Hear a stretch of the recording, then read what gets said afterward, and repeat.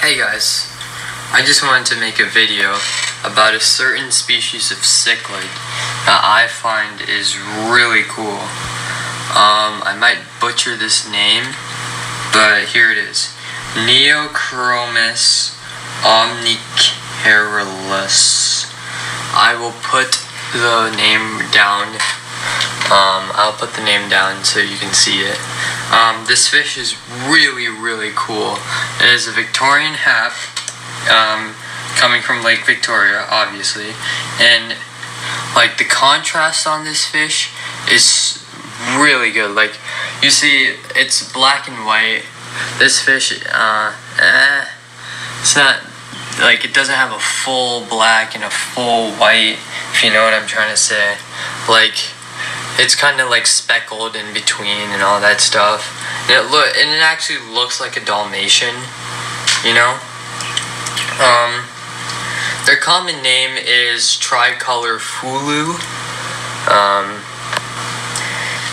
the pH can be between 7.0 and 8.0, and they are an omnivor- omnivorous fish. So you know, like most peacocks, haps, you know that deal. Um, they should be kept in tanks over 55 gallons, and apparently, males aren't tolerant to each other, and this fish is one of the more aggressive fish. I haven't kept this fish, obviously, but I think it might be like an Auratus equi- equivalent. You know, like Auratus is super aggressive for Mbuna, and um, this fish might be super aggressive for Victorian Haps. I don't know, but it could be equivalent. Who knows? Uh, they come in white blotched, which is the one that I like. Um, there are orange blotched, green blotched, I mean green, and yellow, according to the cichlid forum, which is a site I like to use.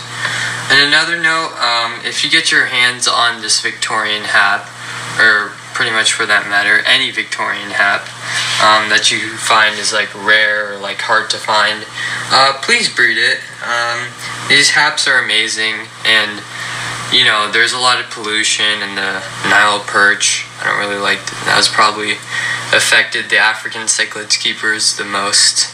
So, um, yeah, so they're threatened by pollution, and you know, I, you know, there's a ton of fish, like a ton of Victorian haps like this, and they have such good colors and all that stuff. Um, here's my uh, Victorian hap. This is a Pundamilia nyererei. I probably didn't say that right. You can see he has a bunch of skin flukes and all that stuff, and he's been beaten up a little bit. But you, as you can see with this fish, um, I had this fish for over a year. He provides a really nice red color. Like you can see all these fish, like these fish, like these fish and those fish. I know redfin borleyi have a nice red color, but for the most part, red is kind of like to get that nice and deep red and crimson or something.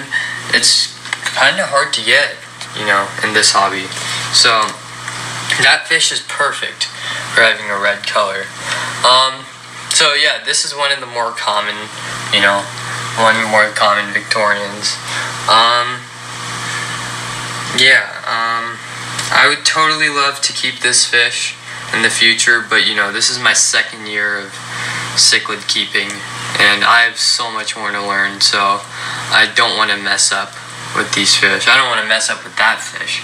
And speaking of like skin flukes and all that stuff, my Taiwan reef apparently got I don't know, maybe gill flukes, like parasites. I, I have no idea, but I'm I put him in a quarantine tank, and things don't look too well for me. So I have no idea what's going on with him.